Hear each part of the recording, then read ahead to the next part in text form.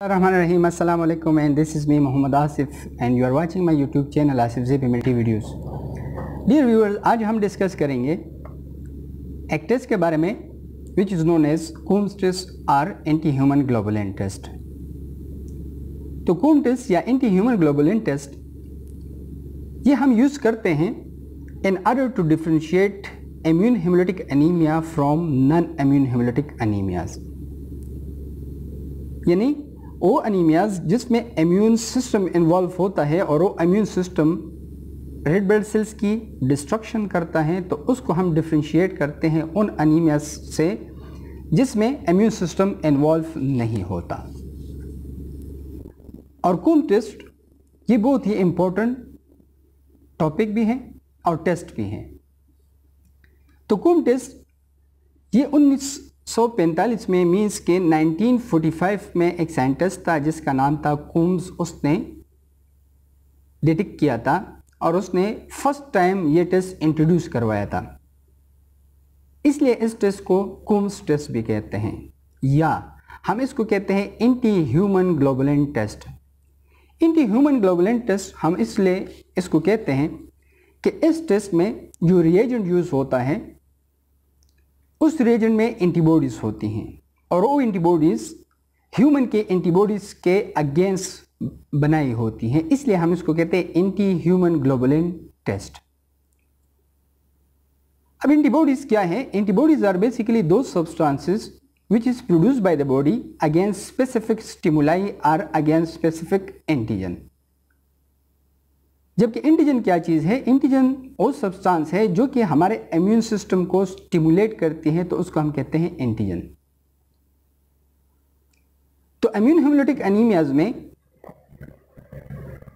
या तो antibodies self antigen के खिलाफ प्रोड्यूस होती हैं, या नॉन सेल्फ एंटीजन के खिलाफ प्रोड्यूस होती हैं। और इम्यून हेमोलिटिक एनीमिया में जो एंटीबॉडीज प्रोड्यूस होती हैं और रेड ब्लड सेल्स के एंटीजन के खिलाफ ही प्रोड्यूस होती हैं, हमारा इम्यून सिस्टम प्रोड्यूस करता है।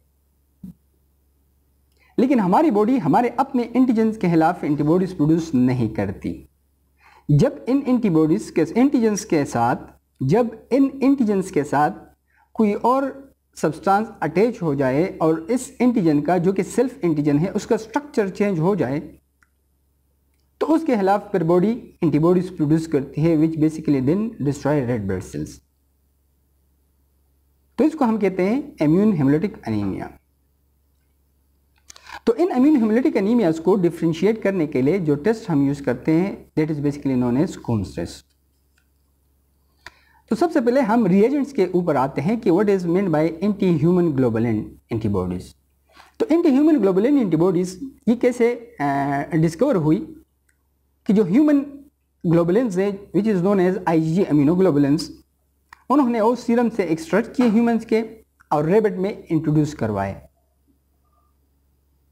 After a period of time उस रेबिट के सीरम को निकाला गया और सीरम से फिर एंटीबॉडीज एक्सट्रैक्ट की।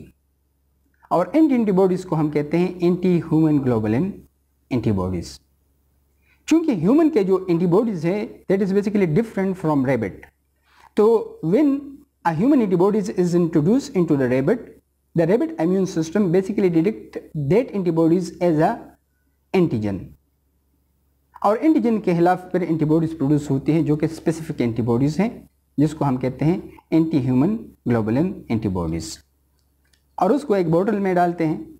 और बोतल में डालकर उसमें सिर्फ़ कलर ऐड करते हैं ताकि डिफ्रेंसिएशन हो। तो वो रिएजेंट जो कि आजकल हमारे पास मार्केट में अवेलेबल है लेब्स में अवेलेबल है, उसको हम कहते हैं कूम्स रिएजेंट और ये रिएजेंट के बेसिस पे हम आइडेंटिफाई करते हैं। तो अब कूम्स जो टेस्ट है, उसके दो टाइप्स हैं। एक को हम कहते हैं डायरेक्ट कूम टेस्ट और दूसरे को हम कहते हैं indirect Coombs test so what is the difference between a direct Coombs test and an indirect Coombs test तो जो डायरेक्ट कूम टेस्ट हैं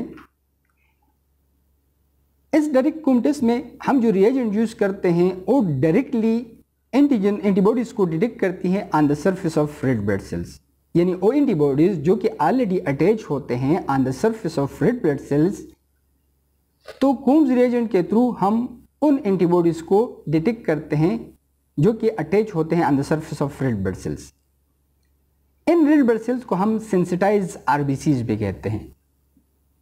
क्योंकि ये अगर रेड ब्लड सेल्स हैं, ये एंटीजन है, ये एंटीबॉडीज अटैच है उस पर लेकिन एग्लूटिनेशन नहीं ले आती। क्यों? क्योंकि these antibodies which are basically I G antibodies these are incomplete antibodies and incomplete antibodies can not agglutinate red blood cells in a saline medium just ये अटैच होती हैं। तो ये एंटीबॉडीज जब रेड ब्लड सेल के सरफेस पे just attach होती है कोम्स रिएजेंट के थ्रू हम इसको डिटेक्ट करते हैं, इसलिए हम इसको कहते हैं direct Coombs test now what is the function of this Coombs reagent या anti human globulin anti human globulin basically दो आरबीसी के दरमियान जिसके सरफेस पे एंटीबॉडीज अटैच हो, ये ब्रिज का काम करती हैं. How for example this is Coombs reagent या anti human globulin antibodies this is one antibodies this is another antibody in antibodies के खिलाफ ये एंटीबॉडी इंट्रोड्यूस हुई हैं। तो ये एंटीबॉडीज इन एंटीबॉडीज के साथ अटैच होंगी। तो अब ये एक एंटीबॉडी है, ये दूसरी एंटीबॉडीज है कोम रिएजेंट आके इनके दरमियान ब्रिज बना देता है। तो इसलिए आरबीसी एग्लूटिनेट कर जाती है। तो जब आरबीसी हम टेस्ट में इन विट्रू एनालिसिस जब हम करते हैं और उसमें अगर आरबीसी एग्लूटिनेट हो गई कोम रिएजेंट्स इस्तेमाल करने के बाद तो हम कहते हैं कोम टेस्ट इज़ पॉजिटिव तो इनडायरेक्टली इसका क्या मतलब हुआ? कि there are sensitised red blood cells present in patient blood, जो कि बेसिकली फिर कंप्लीमेंट सिस्टम को एक्टिवेट करवाती है या अपसोनाइजेशन के थ्रू ये स्प्लीन में इस आरबीसीज की डिस्ट्रक्शन होती है।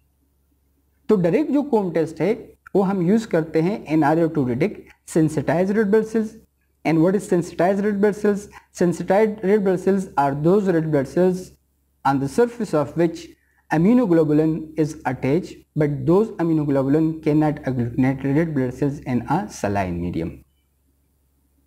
तो इसको हम कहते हैं direct Coombs test now direct Coombs test कौन कौन से कंडीशन में यूज़ होती हैं या डायग्नोसिस क्या है? तो आप लोगों ने नाम सुना होगा haemolytic disease of newborn haemolytic disease of newborn में जो फीटस है, उसके सरफेस पे एंटीबॉडीज अटैच होती है, जो कि बेसिकली मदर से होके आती हैं फीटस में. और ये antibodies on the surface of red blood cells attach होती हैं which is basically IgG antibodies तो फीटस में हम sensitised red blood cells detect करते हैं फीटस में. अब चूँकि मदर में सीरम में एंटीबॉडीज मौजूद होती हैं मदर के, जो कि अटैच नहीं हो सकती on the surface of red blood cells क्योंकि मदर के रेड ब्लड सेल्स के सरफेस पे वो एंटीजन मौजूद नहीं है that mother is basically R H negative और एंटीबॉडीज कौन सी हैं? एंटी आर एच एंटीबॉडीज तो इसलिए अटैच नहीं होती और सीरम में ही सर्कुलेट करती हैं। ना इन एंटीबॉडीज को हम सीरम में कैसे डिटेक्ट करते हैं? तो उसके लिए हम दूसरे टाइप का कोम टेस्ट करते हैं या एंटी ह्यूमन ग्लोबुलिन टेस्ट करते हैं which is known as indirect Coombs test. What is meant by indirect comb test that we detect antibodies indirectly कैसे? What we do in indirect comb test कि हम एक O positive O sales ले लेते हैं pool ले लेते हैं मींस कि हम 10 आर एच पॉजिटिव ब्लड ले लेते हैं, उनको सेंट्रीफ्यूज करते हैं सीरम रिमूव करते हैं उसकी फिर हम वॉशिंग करते हैं three times three times normal saline से हम वॉश करते हैं. फिर इसके बाद हम उसके फाइव परसेंट सस्पेंशन बनाते हैं.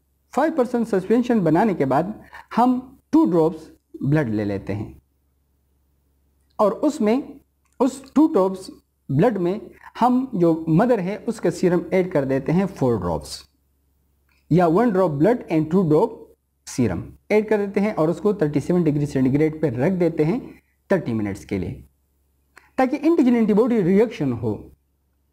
और ये 37 डिग्री सेंटीग्रेड पे करते हैं क्योंकि IgG antibodies are basically warm antibody which give best agglutination reaction at 37 degree centigrade तो रखने के बाद हम इन रिएक्शन हो जाता है। हम इसको अगेन थ्री टाइम्स वॉश कर देते हैं। थ्री टाइम वॉश करने के बाद हम इसको के ऊपर थ्री टाइम्स वॉश करने के बाद हम ऐड करते हैं anti human globulin reagent now हमने क्यों रखा इसको 30 मिनट के लिए? हमें चाहिए सेंसिटाइज रेड ब्लड सेल्स और हमने इसको इनडायरेक्टली अटैच किया on the surface of red blood cells तो जब हमने आर एच पॉजिटिव ब्लड लिया एंटी आर एच एंटीबॉडीज उसके साथ अटैच हो जाएँगी. और अनवांटेड एंटीबॉडीज को हमने वॉशिंग के थ्रू रिमूव किया।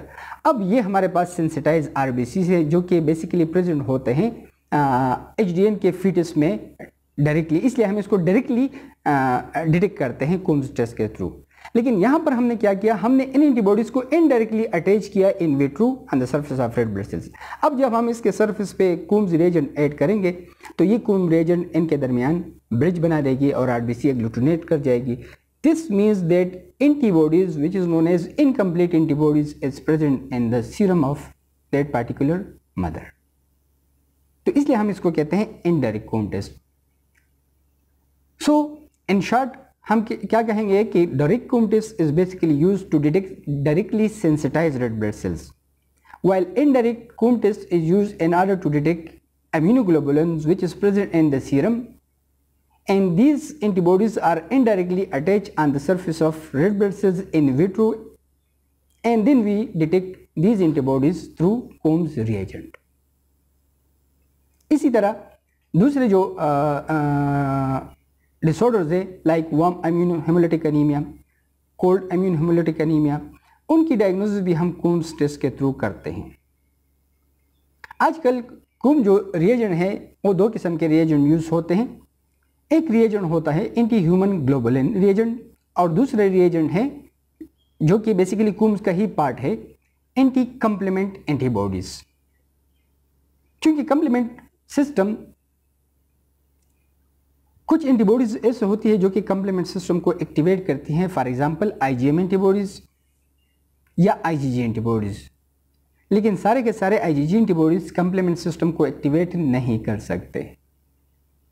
आई के चार टाइप्स है I G one two three and four अब आई जी फोर जो है it can not activate complement system लेकिन ये बाकी तीन कम्प्लीमेंट सिस्टम को एक्टिवेट कर सकते हैं but not efficiently we can say that I G antibodies can activate complement system but not efficiently but I G antibodies can efficiently activate complement system तो उस कम्प्लीमेंट सिस्टम को detect करने के लिए on the surface of flood blood cells we can use Coombs test और उसमें जो reagent हम यूज़ करते हैं, उसको हम कहते हैं एंटी कॉम्प्लीमेंट रिएजेंट या एंटी ह्यूमन कॉम्प्लीमेंट रिएजेंट तो अगर एक इंडिविजुअल्स वो आईजीजी की वजह से हेमोलिसिस हो रही है तो हम उसके लिए एक रिएजेंट यूज़ करते हैं, या अगर कम्प्लीमेंट सिस्टम के थ्रू हेमोलिसिस हो रही है तो हम उसके लिए दूसरा यूज़ करते हैं।